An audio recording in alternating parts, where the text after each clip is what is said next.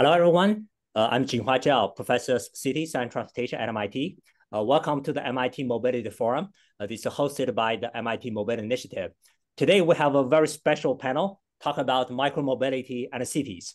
Uh, Bhuvan Atluri actually designed the, the, the, panel and invited a great panelist to join us uh, actually uh, discuss this very interesting topic. Right. Before I pass the forum to Bhuvan, I just reiterate in this forum, uh, we encourage people to turn on your video so that we can see each other faces. So video on, audio off. Right. Secondly, in this forum, also invite all participants to contribute one idea, either in the format of a question or answer, and type it into the chat. Right. That's the kind of the uh, a convention in the forum to make it really dynamic and interactive. Right. Without further ado, let me pass the forum to Bhuvan. Bhuvan, please. Yeah. Yeah, thank you, Jinhua. Uh, it's an absolute honor to be moderating such a distinguished panel with such varied representation uh, across the micromobility space. Uh, I have no doubt that this is going to be uh, a fascinating discussion. Uh, to our audience, we will still have the audience Q&A for the last 15, 20 minutes. So don't worry, please drop your questions in the chat, your comments as we speak. Uh, we will try and limit our discussion to around 35, 40 minutes. Uh, to our panelists, like Jinhua mentioned, feel free to uh, show a slide or two showcasing an infographic, graph, or an any product picture. We would like to keep this more conversation-led and not PowerPoint-led. Uh, so yeah, so let me just uh, go ahead and introduce the panel in no particular order. Uh, let me start with Jascha Franklin Hodge. so Jascha serves as the chief of streets, where he oversees Boston's city's public works and transportation department. he He's, he supports the delivery of high quality essential city services and works with uh, to implement Mayor's Wu's transportation priorities, including reliable, affordable transit services, safer street design in every neighborhood, and a connected network of low stress bicycle routes. Uh, he's also a Course 6 computer science graduate from MIT, so happy to have you back. Uh, moving on to Dave. Uh, Dave completed his undergrad in Aeroastro at the University of Michigan and later did a master's uh, from Aeroastro here. And I think also a, a, something at Sloan. Was it a dual degree? Um, uh, Dave has bikes running in his blood, uh, running the pioneering Montague bikes for a few decades now. Uh, check out their you know, patents on folding bikes and the likes. Uh, with his vast expertise, Dave is now targeting a new segment and different use case of shared micromobility, which uh, we shall get into quite soon. Uh, my next participant is uh, Mike. Mike has been with uh, Lyft and earlier Motivate for almost nine years, I think, and has played a pivotal role in growing bike share over the last decade in US cities. Uh, he is the director of product, data science, and software engineering for transit, bikes, and scooters. Let me know if I missed out anything, Mike. So basically anything non-car at Lyft, Mike is the, is the guy to go to. Uh, he's also worked for the New York MTA, uh, and he has a BS in computer science from Stanford and a master's in transportation right here uh, from MIT, where he worked with Nigel Wilson and also with uh, Jinhua. And uh, lastly, uh, I'm, I'm moving on to Tony. Tony completed his bachelor's and master's in industrial and mechanical engineering from the University of uh, Manitoba and Toronto, respectively. He has an MBA from the Harvard Business School. We let that pass. Tony has worked across many industries, including CPG, real estate, and has founded quite a few startups as well. Uh, he is currently the vice president for robotics and micro mobility business development at Segway Ninebot. And uh, I, I know when we think of Segway, we all think of Dean Kamen Segway, but let me tell you, this is quite different from uh, what we, we, we all remember as Segway Ninebots. And uh, hopefully we'll get into a bit of that in, the, in, in, in this panel discussion. Uh, so just to establish context, I'm just going to share two quick slides.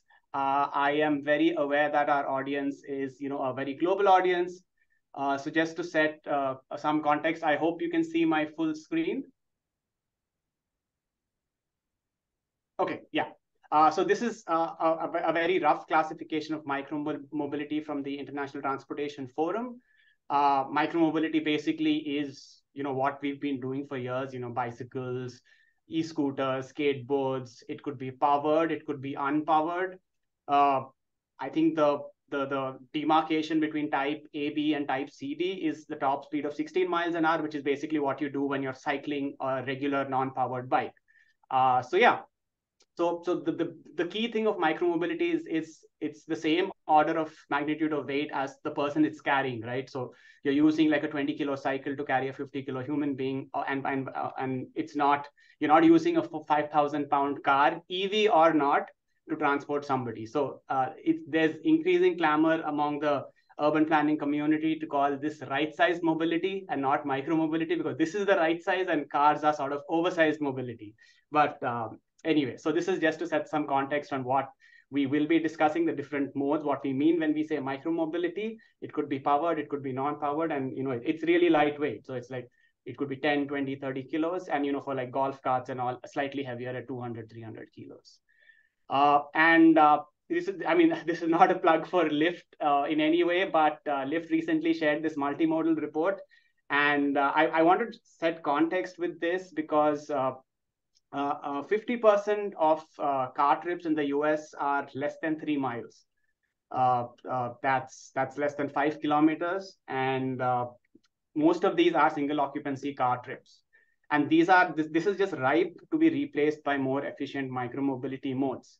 And we have seen this been happening, you know, thanks to bike share that has grown handsomely over the last decade and this works you know like if you see the numbers uh, that people who regularly use bike share who have access to good bike lanes infrastructure good availability of these shared bike systems like you know new york city boston chicago uh, they are ditching their cars and they're not getting new ones. So that that results in a lot of saved co2 and uh, half of them or half of the shared micromobility riders do not even own or lease a personal vehicle.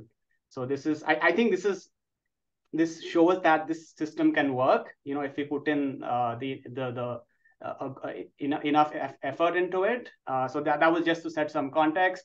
Uh, this report is available on Lyft's website. They've also shared, you know, the methodology of how they conducted the survey. So I encourage y'all to go through it. And, you know, you can always ask Mike a question or two since his, he, he, his team was part of this report. Anyway, so let me start with the question here. Uh, so I've introduced yourself, but please feel free to add a line or two about yourself when you first speak. Uh, but I uh, while I've mentioned, you know, the great advantages that micromobility has in reducing greenhouse gas emissions, it comes with a lot of challenges. Our infrastructure has primarily been built for cars over the last few decades, and you know, this does not merge well with micromobility. The speed and weight differential is just too much, and you know that always causes issues. Uh, we need protected lanes, we need speed segregation. Is it too late? You know, because we have limited real estate, our area has been built up. Uh, you know, cities like Paris have banned rented e-scooters. Schools have banned e-scooters for other reasons, you know, the battery uh, issues. So there's a lot of flux in the sector, which has caused, uh, you know, VCs to back out. Uh, companies have seen valuation plummet. Uh, multiple e-bike manufacturers such as VanMoof have declared bankruptcy. So, you know, it's we are in sort of a flux. We see the positive aspects of micromobility, but it's not the easiest thing to implement at a, on a large scale. Uh, so let me start off by turning it to Mike. Uh, Mike, you know, you've been at Motivate Lyft for over like close to 10 years, uh, you know, really growing bike share for fleets and cities. So how, what, you know, what were the challenges that you faced when you started 10 years ago? We take bike share for granted now in many cities uh, you know, what are the challenges you faced then? And, you know, are you seeing similar challenges in few cities right now? And how could we even address some of these challenges? Yeah. Well, one thing I can say is when I started doing that, I did not have any of this gray hair. Um, and so some of that comes with age, some of that comes with a lot of hard work and stress and blood and anguish and tears and all those things. Um, do you want me to address that question directly first Bhuvan? I'll go through a little bit of just my like quick intro slides yeah. Um, Go through your intro slides and then the question. That's perfectly fine. Okay. Okay. Cool. Just remind me if I forget to come back to the question. Yeah. Uh, so here is my just like very quick intro, kind of where we are. Um, so what I do at Lyft is help lead the organization that does bike scooters and transit information within Lyft as a company. Our mission within the part of Lyft is to provide micromobility solutions that riders love and cities need. And we do that by providing sustainable transportation infrastructure that we believe is like deeply integrated into the urban fabric in the cities uh, where the service is provided. Uh, noting that um, we are both like an operator as well as a kind of supplier to other cities and operators of micromobility hardware and software. If you combine kind of that footprint together, we have a pretty global impact at this point, supporting, I don't know, getting on to 200,000 vehicles around the world. You can see all the numbers here. I'm sort of shocked at how big this is compared to when I started working on this nine years ago, um, at least in terms of like the proportion of it that we kind of help influence and bring to light. Um, so this slide presents like a little bit of a history here, and perhaps it sort of answers your question, Bhuvan. But I mean, I got involved in, uh, let's see, here when it says Motivate was Alta was acquired by and rebranded in 2014 to Motivate is when I joined this industry. Prior to that was sort of the initial creation of like the docked bike share system that we're familiar with in uh, North American and many European cities. And sort of subsequent to that has been a combination really of like both product and technology development, like expansion across the country and the world, as well as, you know, I don't know, corporate transactions to help scale the business, bring investment into it, and bring different parts of it together. So I won't like talk through the the detailed history here. You can sort of see on the side. I could take questions later. Probably some people are familiar. This chart just shows the number of rides, uh, basically sort of rolling 12 months per year that for the systems where we operate, the number of rides per year in 2018 when Lyft took over Motivate. So if you go back to when I joined Motivate, maybe here, uh, and now looking at kind of the end of this purple graph, that's the number of rides in the last 365 days as of you know when this slide was made pretty recently. So we've obviously seen like a very large expansion in you know the fleets, the equipment, and and the ridership. My role in this has really been on the product and technology side of things, working very closely with the people who operate on the street, the people who work to set up our agreements with cities to sell all over the world. Um, and so, you know, we've been kind of really iterating and investing heavily. And I really don't use the word innovation, so I'll just say improving on both the hardware and the software side of this. I think, you know, to some extent, the business starts with hardware. You can't provide this kind of service on street without stations, bikes, scooters, etc. But I really feel like it kind of finish, let's say finishes with software because once you've put the hardware into service, you know, your levers to keep improving it, however you define improving, are primarily about, from a technology perspective, primarily about software. Once the hardware is made, sure, like if a component's failing, you can improve it and when you maintain it you know put in a new version of that component but you can't just buy all new bikes, buy all new stations. So over time, like the continued sort of improvement you get to the system, once you have the hardware, is really going to be driven by software uh, from a technology perspective. So, sort of summary of you know kind of like what I've been spending my time in. So very high level there. I'm happy to go into any details if people want. In terms of the question of like what was the state of things nine years ago when I started doing this versus today. Um, and this is taking a very kind of North American perspective here, because obviously there was bike share and micromobility in you know Europe and France before this. But I would say effectively when I joined, like there was just the technology solutions were not stable. There weren't kind of reliable products, hardware and software you could use to just deploy and operate a system uh, and that's sort of my narrow perspective here. Um, and but I do think that like at that point in time when I started, the perspective on like the right sort of operating model and collaboration model with cities was actually sort of in place. And I think over the last nine years, the technology solutions and the product solutions have very much stabilized and started to dramatically improve with new types of vehicles, new types of stations, software, and everything. Um, but the question of like the relationship with cities and what competition should look like, and you know, that has kind of gone through many cycles around permits, competitive, dock, dockless, et cetera. And I, you know, and I guess um, throughout all of that, my perspectives haven't changed too much. Uh, but you know, maybe that's what we're here to debate today. Thank, thank you, Mike. I think I think John uh, summarized this quite aptly in his 10 trends presentation. It's moved from competition from the market to competition for the market. You know, it's uh, that's you know we look. But in, in 20 in 20 in 2014 when I started, it was it was old school competition for the market. So we've kind of yeah. going through a cycle. Gone, gone full circle. Yeah. And uh, uh, so, so Professor Dan uh, Freund from the Sloan School actually has a mobility forum on optimizing city bike placement. So I would tell, our request our audience if they're more interested to go check that out. Uh, let me move on to Dave. Uh, so Dave, you're the you know founder of Metro uh, Mobility as well as the Park and Pedal program right here in Massachusetts. so as, as I understand it, you're addressing a slightly different market segment. You know, not the core cities over here. So, so what is park and pedal and uh, you know how did that lead to your to development of your charging stations you know the charge lock uh, pattern that you have? You know if you could talk and maybe sh show a slide or two on this. Thank you. Sure sure. Thanks Bhuvan. so um, I, I, think you know Lyft and and and others do a, a fantastic job um, providing uh, micromobility services to um, urban um, residents.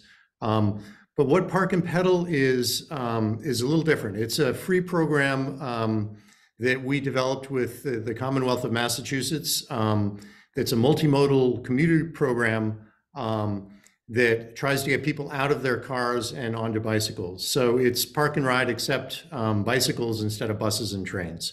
Um, so the average American lives about 18 miles from the office, but the average American doesn't want, to ride a bicycle 18 miles. so our surveys really show that, that the average American wants to ride sort of three to five miles uh, as part of their daily commute. Um, so um, Park and Pedal really provides a gateway to um, commuting um, for the, the vast majority of Americans who are um, driving into, uh, into work every day. And let me just share, uh, can you guys see that okay? Yep, all good.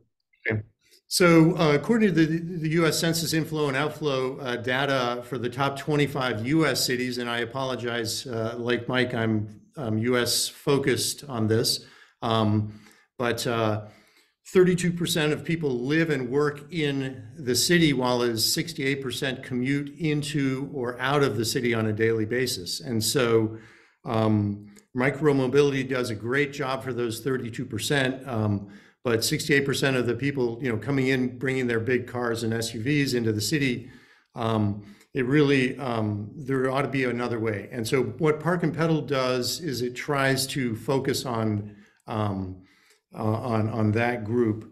Um, the environmental benefits of Park and Pedal uh, really are shown in this chart. The uh, y-axis is CO2 emissions in grams per mile. Um, and the x-axis is a little bit odd. It's um, average speed of a car with the higher speeds on the left and the lower speeds on the right.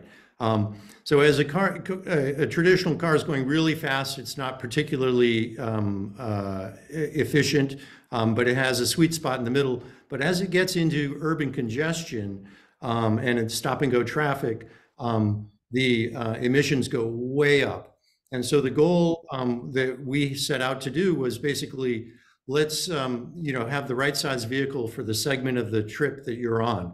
So um, if you're out in the suburbs and you're cruising along on the highway, um, a car is fairly efficient. Um, but when you get into stop and go traffic and, and urban congestion, um, a car really is is is what you call it mega mega mobility, Mike. I think you said is uh, is it's just overkill. Um, and so um, light electric vehicles really make a lot more sense there. Um, so Park and Pedal really tries to provide a convenient way to drive partway, park your car for free, and then cycle the rest of the way to work. Um, you know, of, you know, avoiding last mile traffic and uh, parking issues in the city. Um, so um, great program, rave reviews about it. The only problem was that there was a a lot of uh, griping about BYOB, bring your own bicycle on your car. That's fine a couple of days, but every day of the week, schlepping your bike on your car really um, was was problematic. Um, so um, so we realized that we needed to provide some kind of mobility at the charge lock state at the uh, park and pedal stations or locations. Um, so we developed um, a, a charging and locking station called Charge Lock that offers grab and go e-bikes and scooters um, to commuters who don't want to schlep their own bikes. Uh, so ChargeLock stations um, sort of offer a great user experience. They're very simple, very, um, and therefore um, very inexpensive, about a fifth or, or, or less the cost of comparable charging stations currently available. Um, and we've installed about a 60 um, docks of these stations around the Boston area, some servicing housing authorities, um, one at Mass General Hospital. Uh, we just installed last week for uh, Mass General uh, Hospital workers. Um, and because they're so inexpensive, um, the pricing to users can be very low. So we're excited, and I think others are excited about uh, our new tech. Um, we're offering it not just, we're really not an operator. Um, we let um, others do that um, who are much better at it than us. Um, and we're offering uh, our new tech uh, and park and pedal to uh, everybody to, uh, to, to use. Thanks, thanks, Dave. And I think you know one of the features of this is you could you, you would go to the shops and use the cable to just lock your bike while you're shopping inside. So you know quite a nifty feature that one. Uh, talking about product features, Tony, I'm going to move to you next. Uh, you've been in this space for a while. Uh, uh you have a great view of what's happening in Asia and the US and North America. Uh, so, you know, from like a couple of years ago to, you know, the rapid uh, growth in e-bikes, e-scooters. so, so what are some of the trends that you are seeing? And also currently on the manufacturing and supply chain challenges especially uh, you know importing products into the US, maybe you know batteries, materials of Chinese origins. We have seen issues in the electric vehicle space. Uh, are there any issues that you foresee in the electric bike space? You know, in importing these materials uh, from uh, China to the US. You know, the the geopolitics, like we say, of the whole mobility okay. sector. That that that's actually a very loaded loaded question. Uh, maybe uh, maybe a little bit about us. Um, I I uh, I don't have a slide. Uh, uh, try to stay informal, maybe a conversation. So feel free to ask That's me. Totally fine. Totally fine. Later on. Uh, and so, so uh, Segway was uh, essentially merged with Ninebot back in 2015. So uh, the original vision of uh, Dean Kamen, who invented the Segway, was still there. We are trying to solve the urban transportation problem, uh, congestions and pollution and whatnot, and and using uh, so now it's called micro mobility vehicles, but that time was actually called a scooter. uh, in fact, actually, Dean actually didn't like the name scooters because he thought Segway is sort of a special invention and, and it needs to have a special name. So we call them personal transportation, like Segway PT. Um, but uh, people like to call them scooter anyway. so, so what ended up happening is uh, they they just want to call uh, that form factor they look familiar. familiar. So so so the, the new Segway is actually uh, quite practical in the sense that uh, we started as a essentially a self-balancing vehicle companies and, and mostly making uh, the Mocop, the the security guard, and uh, the Segway Tours vehicles specialized, but also very expensive. Um, but we pivoted to the essentially the the consumer uh, electric kick scooter space, and we're sort of fortunate in, at the time that the micro mobility is just taking off. So um, so uh, fast forward to today, uh, we we are uh, especially in the kick scooter space, we are the largest player in that space. Uh, so benefit quite a bit from the the micromobility boom back in the 2017 18 i can't believe it, it was especially very short time five six years but i felt like i'm very old in this whole industry uh, i guess age wise i'm also old but the we're truly a veteran. This actually whole group, uh, even just the past three or four years, a lot has changed. So, uh, so we actually do have a lot of story to share. Uh, probably I can spend hours talking about this. Uh, but um, after the the sort of the boom and bust of the whole uh, the initial scooter sharing craze, uh, one general trend is I think the industry is going to uh, a more uh, rational state. Um, and also the we we see a lot of the the VC has come and left, right? And also a lot of the sort of the uh, high flying companies also uh, essentially had the same trajectory, almost like very kind of uh, uh mirroring all the sort of the Gartner curve that you know we're going to sort of uh, uh, now in, in the stage that you know after the crash we kind of going to a slow slow ramp up later on, but eventually it will become a more a mass, adop- mass mass adoption but I, I think uh, there's certain things we or, originally maybe a few, a few years ago we kind of predicted is really happening right now. So so for example, you know obviously we all the industry the, the whole industry is actually consolidating. So uh, you you you only see a few big players left, right? And then there's small guys here, local guys here and there, but they are consolidating. Uh, two is that we actually see from um, product manufacturer point of view, uh, we see a total specialization of a lot of things and people competing on at the sort of uh, uh, your core competence level, not not just purely you can make the product. So back in 2017 or 18, we, we actually had a very easy time where uh, as long as you can make, you know, I still remember back then we are the only factory that can we we actually had our own factories making scooters, but the only factory that can make 100,000 units a, a, a year and we happen to have people knocking on our doors with cash waving in front of you. Hey you know whatever you capacity would take it right? But this is sort of completely you know the old stuff the, the back in the 2017 18 days. Um, now is everybody's going back to very no, sort of normal way of doing business right? So so now we're competing at a different level in, in terms of um, not just the the vehicle itself but also the as, as uh, uh, Michael from Lyft mentioned that you know we are actually working with Lyft on on our computer vision like robotics scooters that detect sidewalks to help regulators yeah. to do better job. Uh, with, with David, we're actually doing uh, integration with their charge lock as well to essentially enhance enhance our uh, uh, product capabilities and also putting more technology into that to to make the essentially lower uh, lower the cost of total uh, ownership, uh, total cost of ownership, and a lower cost, uh, essentially the operating and in, including efficiencies for the, for the fleet. So in some way, we can say that, uh, and it, it almost mimicking pretty much all the other transportation sectors. Um, the the product company will will focus on product, and also they're making their product better. Um, and then the operating company is focusing on their core business as well. So essentially, the the Airbus Boeing story versus the the, the United Airlines and the other airliners.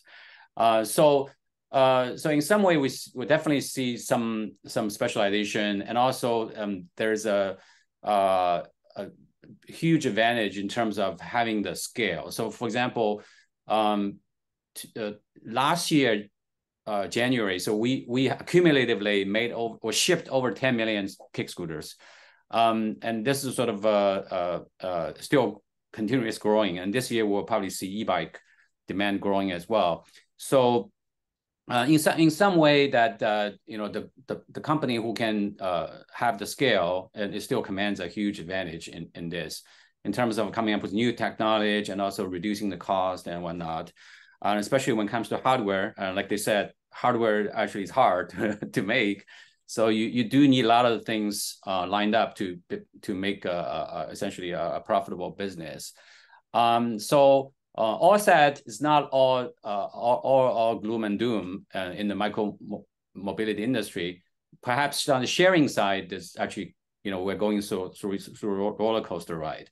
But I think uh, what's what's really promising to us is that uh, uh, we actually uh, invested early on to um, to invest in this essentially the consumer space uh, since day one. So so even when we are sharing business growing like crazy, we didn't uh, uh, we didn't lost focus on our consumer products. So that's why um, what you see now is the the market is actually being educated by in fact, in fact by the sharing fleet because they're on the street, everybody see them every day and you actually have an experience riding on those scooters or e-bikes and then you say hey you know maybe i should buy one for myself. So so we are seeing on the consumer side is the ownership of micromobility device is actually really taking off especially with the the fact that uh, uh, covid is almost like a catalyst to this because you know people have cash in their in their hands and then they actually end up, end up buying uh, scooters and um, and and and e-bikes but so so so so so we're seeing some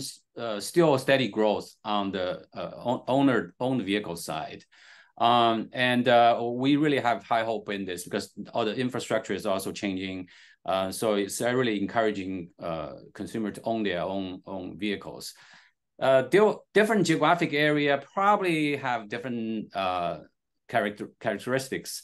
Um, but in general, people start to realize that the benefit of the the micromobility vehicles.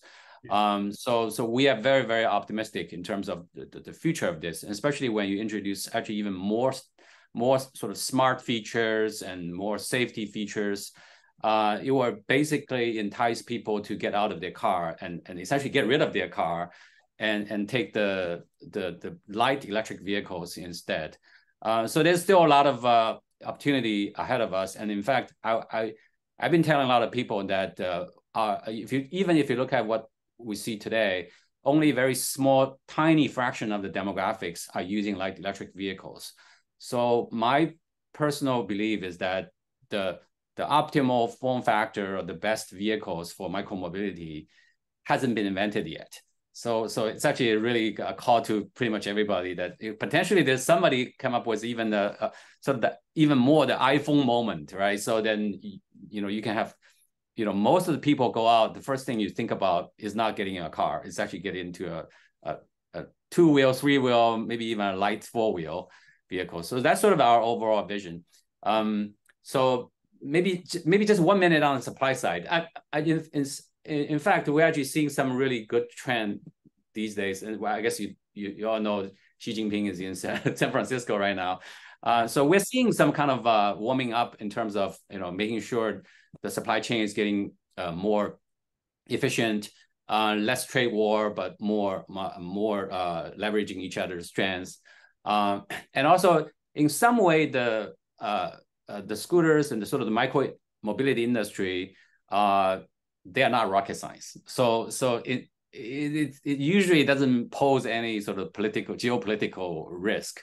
Uh, even when it comes to like say battery technology, we only use a fraction of the battery cells compared to a car. So so so we we actually don't see as much as um, sort of a sort of political tension in, in, in that sense. Uh, the only thing maybe a little bit in, in the past was the the, the tariff uh, when uh, when when we had the trade war. Uh, there's a little bit tariff on that, but even that, a lot of some of the tariff is on hold until the end of this year for for scooters. So I I think uh, uh, we put we have a pretty high hope that hopefully this whole global trade trend can can keep. So so we'll keep the the price of micromobility vehicles or you know the service uh, cheap enough so so you can really disrupt cars. Yeah. Um, no, that, that's yeah, that, yeah. that's great. You know i think you're instead of leaving home when you go grab the car keys the whole mindset should move to you know just grabbing your micromobility device. And uh, and your your point is like excellent because uh, the the the battery wars don't really impact us because the amount of cells that you use is so less. That and that is basically how efficient a micromobility device is. Uh, talking of loaded questions let me move to you Jascha.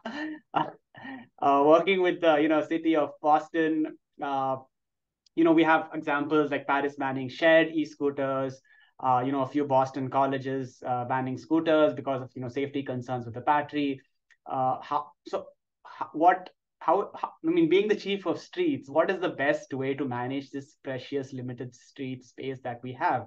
You know, are there any studies or pilots being conducted at your end to figure out, you know, what is the optimal mix of, you know, uh, area for bike lane versus area for a car versus, uh, you know, area for deliveries? Or, uh, you know, how do we make sure that infrastructure is adapted for different vehicles, uh, different speeds? and um, yeah just just curious to hear your thoughts how you go about thinking about this and you know hopefully this can lead to further discussion between the other panelists as well thank you yeah no absolutely well thank you very much and I appreciate everyone's uh, comments so far um, so you know i think we've heard sort of in the questions and some of the answers you know there's a lot of uh, you know, kind of ups and downs in this industry over the last few years, and um, you know, but I think we try to keep our focus less on the the surface and the waves on that surface and more in the the deep ocean uh, and uh, a, an ocean that we think is rising in a good way in the sense that we are seeing more interest in and use of various types of micromobility in the city. And that has been a very consistent trend where use of bicycles has grown year over year. Use of our uh, shared uh, uh, uh, uh bike, our bike share system has grown year over year uh, use of uh, privately owned micromobility vehicles of all stripes, um, from electric unicycles to stand-up scooters to e-bikes has been growing as well. And so I think for us, we try to not get too lost in the the waves and instead think about what are the more fundamental investments and changes that we can make uh, in our programs and in our infrastructure that will actually keep that uh, that that that that ocean rising and more people making the choice to do more of their trips by uh, whatever form of micromobility vehicle they choose. Um, one of the big things that we're focused on is our bike share system. Um, we, uh, for a variety of uh, quirky state legal reasons that I won't uh, bore you all with the details of, um, stand-up scooters have are are widely considered to be illegal in the state of Massachusetts. There's some debate about that, but the result has been that the shared, we kind of missed the 2018, 2019 wave of um, hyper competition around uh, shared scooters. And so the city has remained and our surrounding municipalities has remained very focused on our bike share system. And we, the way we think about bike share in Boston is that it is a form of public transportation. And when we say that, what we mean is that it needs to be affordable, it needs to be available, it needs to be reliable. We think about it as something that people can and we know do rely on for their daily transportation as well as for um, you know more occasional journeys and we run it with those goals in mind. And that means a few things. It means we focus a lot on making sure that the system is widely available across the city and our surrounding communities, uh, that it reaches places that no profit making business would in their right mind choose to go as an early action but because we know that there are people there who need to get somewhere and so we're going to subsidize that service to make sure that it can be where people need it. We've done a lot of work around affordability looking at low income programs looking at how the system itself is funded.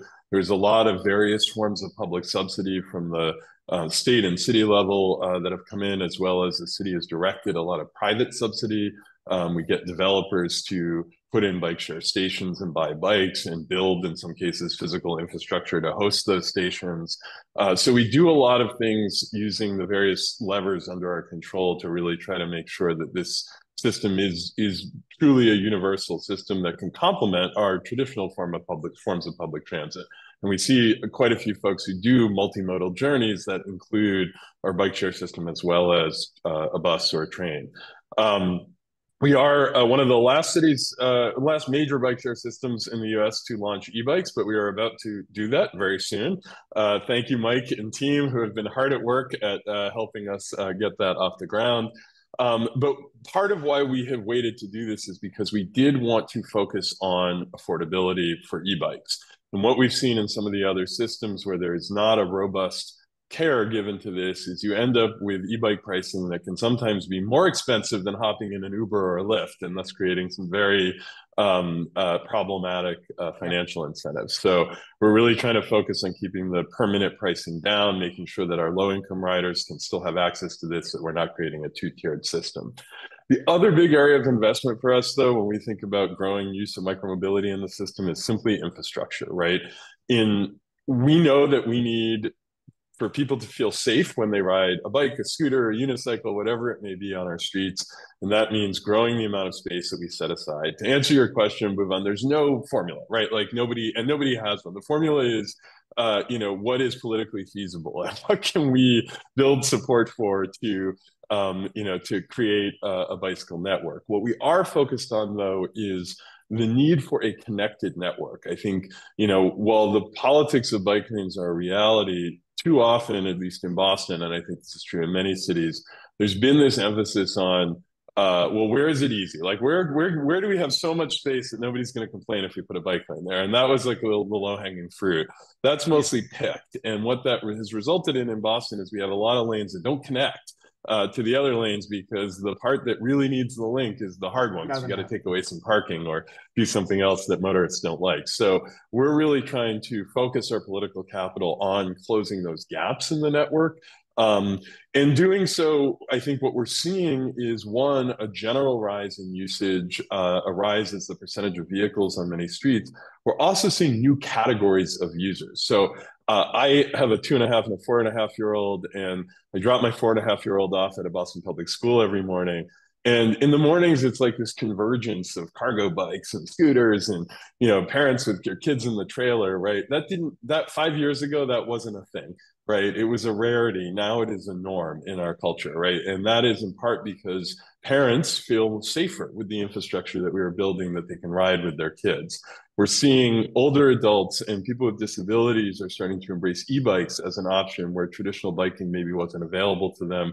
We're working on how we can subsidize that for those particular population groups. So ultimately, it is about making sure that um, you know we're we're building out that public transit micromobility mentality and building the infrastructure so that whether it's owned or shared that people know that they can make the trip they want to make safely uh, on a smaller device uh, thanks so much for that. Uh, i think we'll i think the chat has been hyperactive. Uh, john i don't envy your job today of uh, collating the questions. Uh, probably we should probably move to the audience questions now given that we have around 15 minutes left yeah, absolutely, Bhuvan. It, it has been a very, very active chat. There's actually quite a lot of interesting commentary in the chat as well. So we will share that with all of you guys. There's uh, there's some good stuff in there. Um, but maybe just to start out, um, let me start with the topic of uh, safety. So uh, Brad Denny noted that in the United States, injuries associated with all micromobility devices increased nearly 21% in 2022 from 2021 and likely will increase this year. What is being done to improve micromobility user safety? Um, and so just any uh, reactions or reflections on the, the safety question. And maybe just a, a, footnote here, there's almost, there's the safety that we think of in terms of collisions with pedestrians, with vehicles and so forth. And then there's another kind of safety issue related to battery fires. So you can feel free to tackle both of those.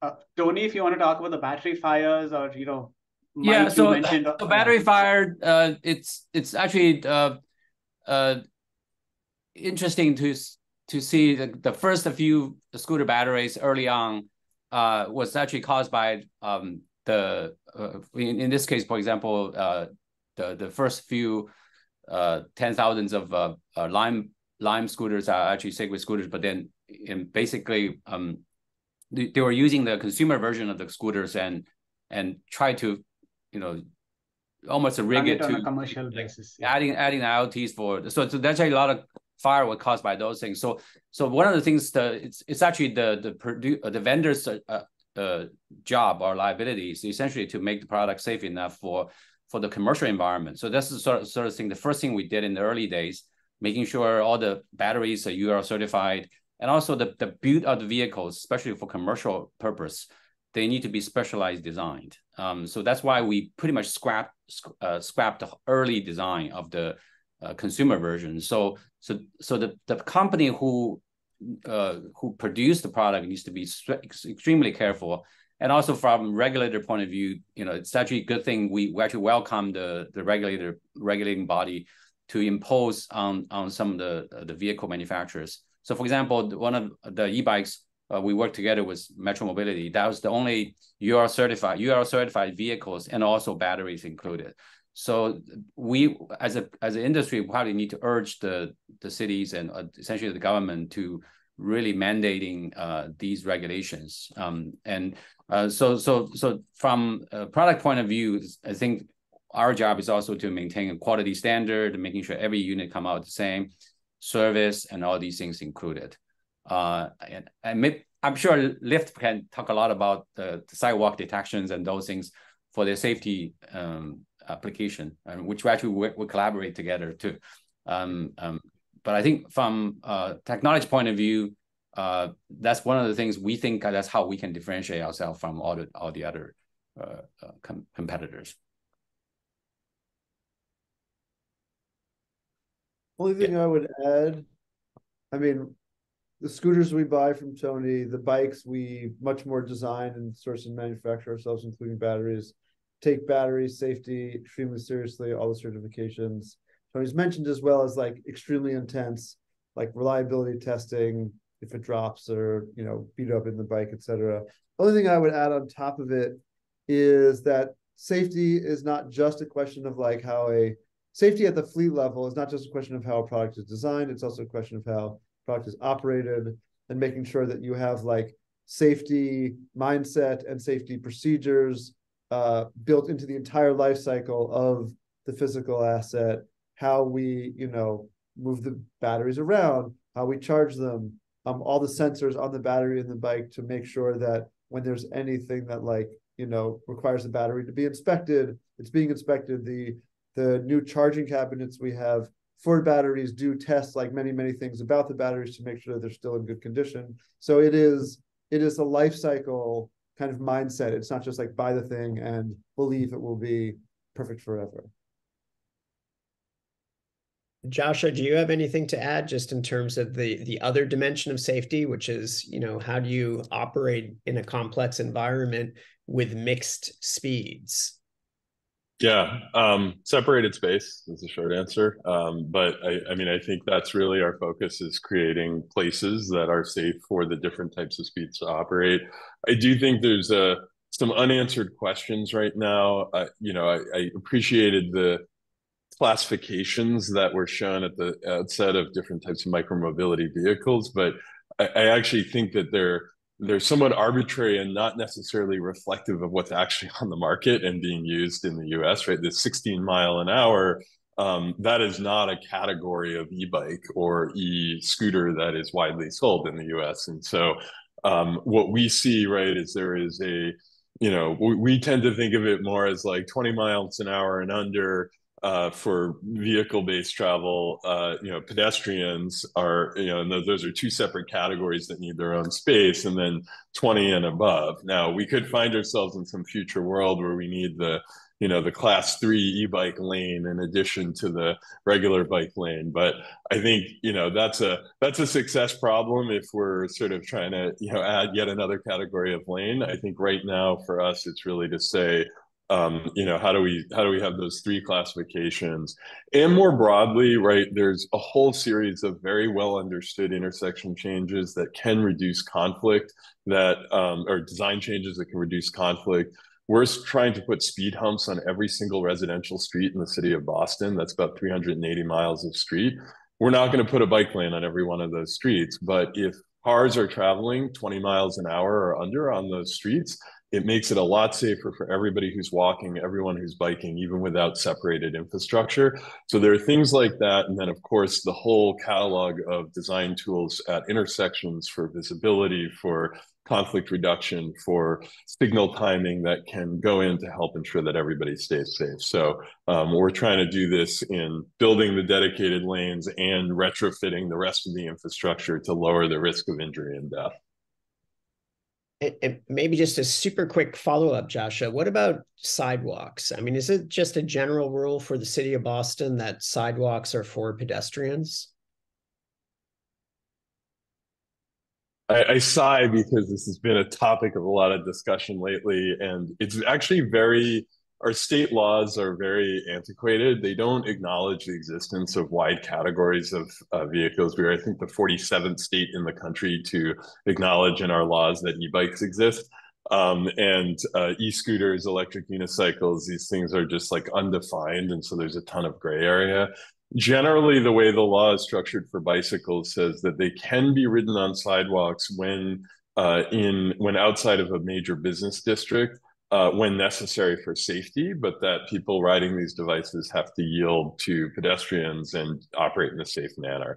Our position is generally that uh, you know things that move at higher speeds should not be on the sidewalk with pedestrians. That it is, especially in pedestrian dense environments, it is unsafe and it creates a lot of conflict. And and in some ways, even more importantly, it actually creates a lot of ill will towards bikes and e-scooters, which then paradoxically makes it harder for us to build bike lanes because people are like these bikes they're terrible. They're on the sidewalk. They're almost run me down. You know it's just it's like um, there's there's a kind of very uh, unfortunate cycle that happens there. So we encourage people to not ride their devices on the sidewalk. Um, in some cases it is illegal in some cases it's gray.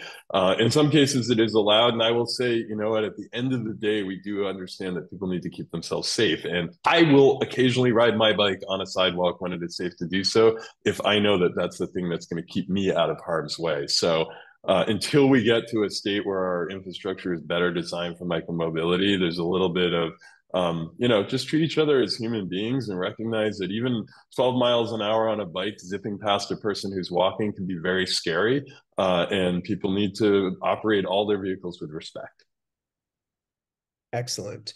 So, speaking of sidewalks, I'd like to turn to Andres Sevtsuk. So, Andres is on the faculty at MIT. He's done a lot of work about thinking about the experience of moving on sidewalks. And Andres, you posed a very interesting question. I wonder if you could just share it with the group.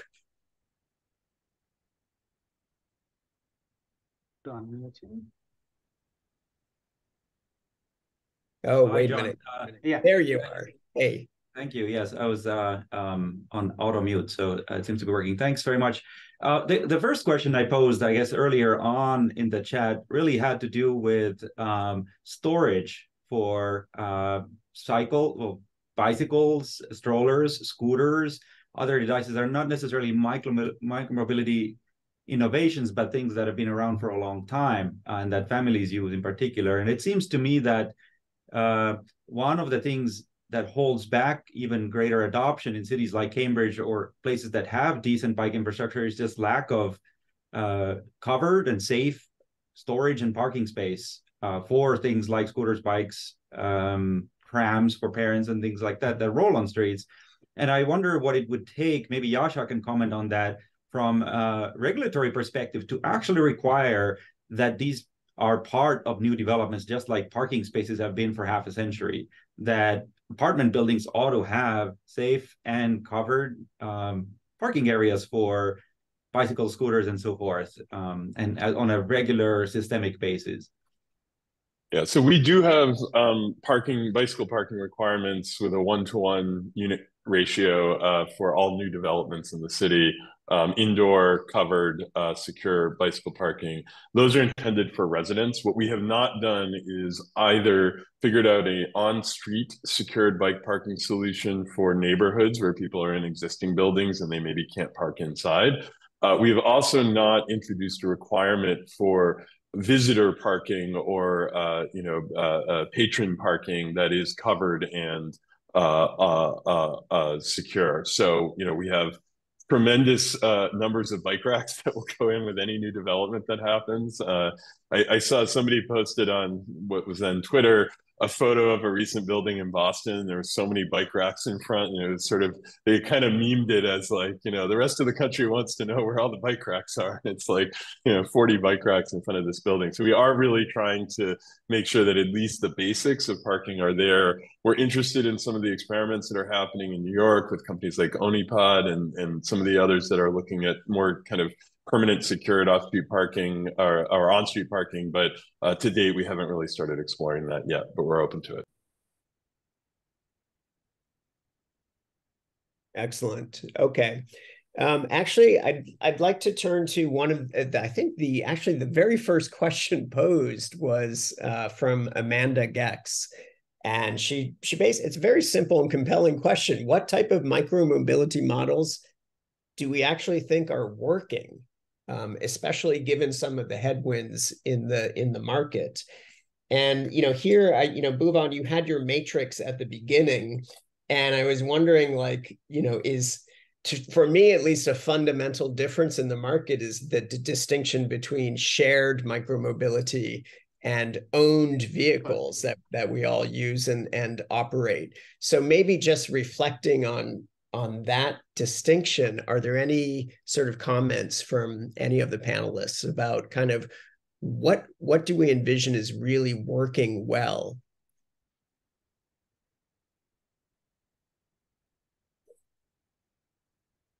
Uh, I will go back to the original intent of uh, all these vehicles, and and you know by definition it's called personal transporter vehicles, right? So they so they are single single person use, maybe two person most, uh, and and they they are meant to be sort of owned, and I think in some way they are actually not more affordable than a car, right? So uh, no matter you're doing sort of gig work or doing deliveries, or even you know uh, kids go to school, um, I think uh, the ownership model, I have to say, consumer actually vote by their feet, literally. Um, so you know whether it's a form factor of a kick scooter or e-bikes, it's something they're actually quite familiar with, and so actually sometimes it's part on their uh, wish list. Christmas is coming, so I'm getting a scooter for for for the kids, right? Things things like that. Um, so I would think I would say that uh, at least uh, the owner's owned model is proven mm, to work or useful, right? I think it's a question of how do we encourage more people to do this. Um, I don't know. That's just my my personal take on that. Your, your dream, Tony, is that everybody has a scooter in the in the trunk of their car, right? Uh, more, can... more, than one. Every, every single person, passenger should have one. Yeah. Fair enough. And uh, Dave, from your side, any any reflections on the kind of the business models that work? Well, uh, you know, we've seen massive dockless companies like Mobike and Ofo come and go, and and and I think we've all seen in, in on this call anyway, the the the pictures of mountains of of bicycles being thrown away in in China and other places.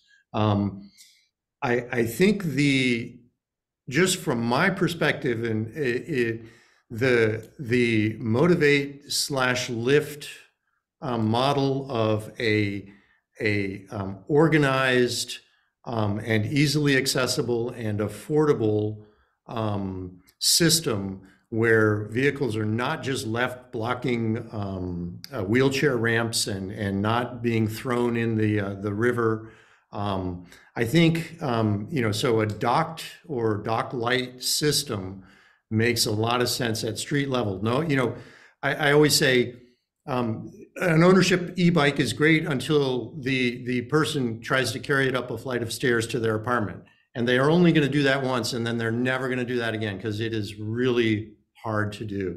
Um, and so having um, ground level um, access to e-mobility um, is is really something that that's great, and I think um, I think it needs to be I think it needs to be organized and docked um, and and affordable.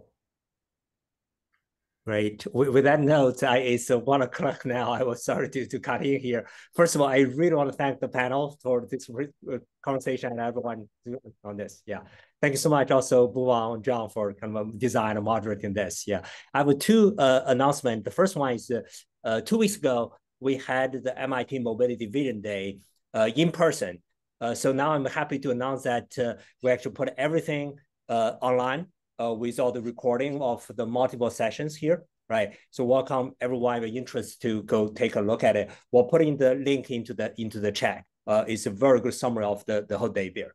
Uh, the second announcement is that next week is the Thanksgiving holiday. We will not have the seminar, right? Particularly for the international audience that uh, this is a special holiday, we will not have the seminar next week, right? But the week after, we do have one on December 1st on the VC Startup Synergy in Transportation. This is a new sub-series in the mobile forum that we organize. Uh, after that, we'll have the special session on Dan Evarou's Best Dissertation Award uh, and, presentation. There are one winners, Bertrand Moore, and two or, uh, honorable mentions, uh, Runek and Kartik. Uh, they are really represent the best of our the MIT transportation students. So they are going to give a presentation on their, their dissertation research. And last one in to conclude this term session is uh, well deal the institutional investment in mobility uh, is another sub-series that organized. We work together with uh, Jeff Shen from BlackRock. With that, uh, goodbye, everybody. Have a great Thanksgiving holidays. See you two weeks from now. Bye-bye. Thank you. Thanks, everybody.